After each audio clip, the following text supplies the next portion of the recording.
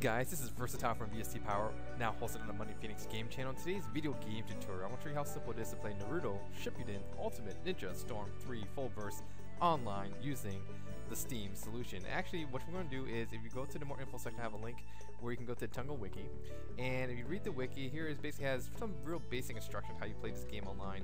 But the more important thing is, is of course, the MP fix.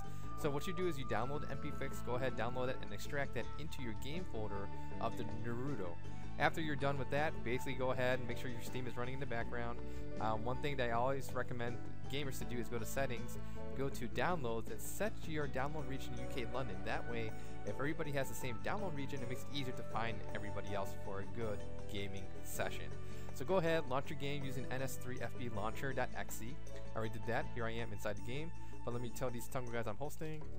I'm hosting now. That way I can coordinate the game.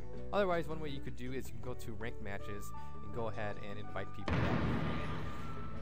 So right now I'm using my PS2 controller to and then what I'm going to do is go ahead and go to a rank match. If you go back to the Tunngle Wiki, it has some list of instructions on how you can play this game. Online is pretty simple as well.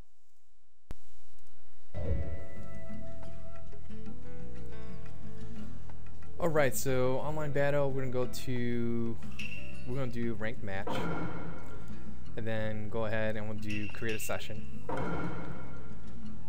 Then go down to create a session regions any. And then what you can do is you can go ahead and invite your friend or you can just coordinate through the Tunngle room for example, say, hey, I'm hosting a game, come and search for me.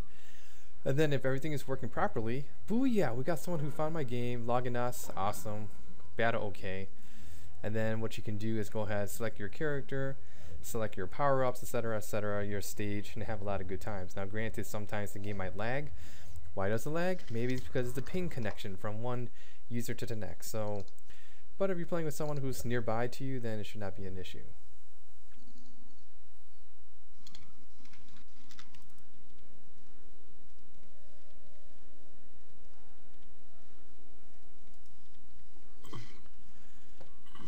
Alright, so we're in the game. Let's go ahead. I'll just select one of these players here.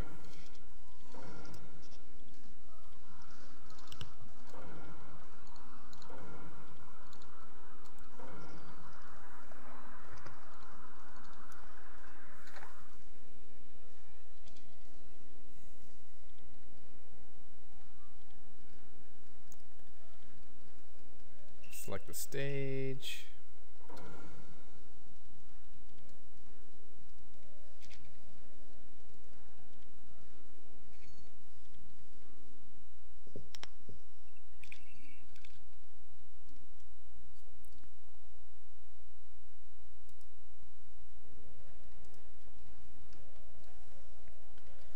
Alright, awesome. We are clearly in the game. Now, I'm not a very good Naruto player, and sometimes the lag might throw me off.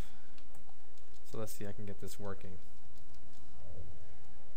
Transmission error. Unbelievable. Can you believe that? So if that happens, what you gotta do is just go ahead, research for a new game, and just start over. But at least you can see that, yeah, this does work. Unfortunately, I had a transmission error, but uh, eventually you will get a working game. So that is today's video game tutorial. You guys have any nitpicky questions that come here on YouTube page, I'll get back to you as soon as possible. Once again, thank you for watching. Take care. Bye. よし!